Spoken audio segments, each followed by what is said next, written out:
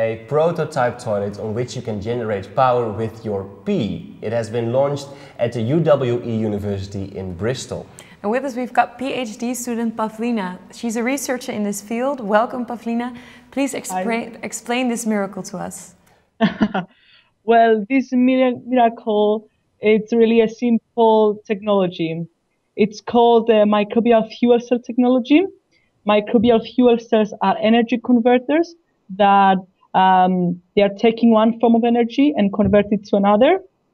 Um, we are feeding the microbial fuel cells with organic matters, and inside microbial fuel cells there are different bacteria that they eat the fuel that we feed them with, for example, urine.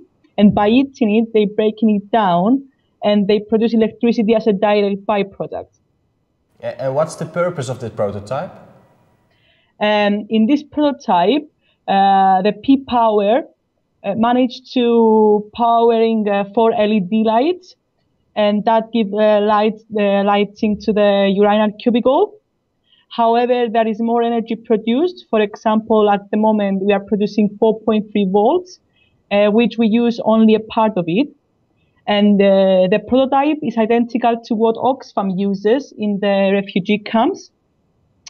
And uh, it's, it's, a, test for the urinal that we hope can be used by aid agencies in um, uh, refugee camps because um, they are the um, risk of women to be assaulted during night uh, when they will visit toilet is high. So if we provide electricity and lighting in those area in these areas, um, that would be good for them and safer environment. Yes, so power from your pee might be very useful in third world countries, but isn't it very expensive?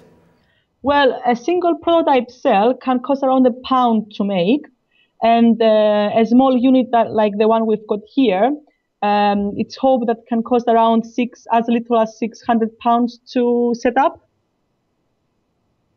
And do you think one day we'll all be able to uh, generate electricity out of our pee?